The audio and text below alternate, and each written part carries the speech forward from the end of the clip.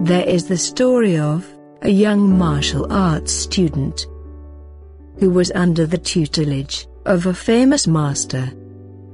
One day, the master was watching a practice session in the courtyard. He realized that the presence of the other students was interfering with the young man's attempts to perfect his technique. The master could sense the young man's frustration. He went up to the young man and tapped him on his shoulder. What is the problem? he inquired. I don't know, said the youth, with a strained expression.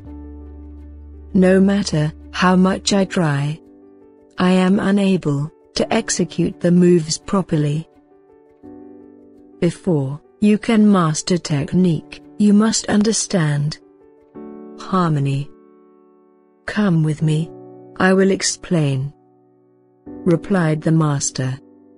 The teacher and student left the courtyard and walked some distance into the woods until they came upon a stream.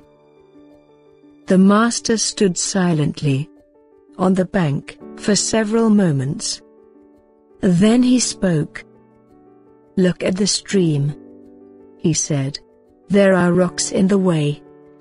Does it slam into them, out of frustration? It simply flows over and around them and moves on. Be like the water, and you will know what harmony is. The young man took the master's advice to heart. Soon, he was barely noticing the other students around him. Nothing could come in his way of executing the most perfect moves.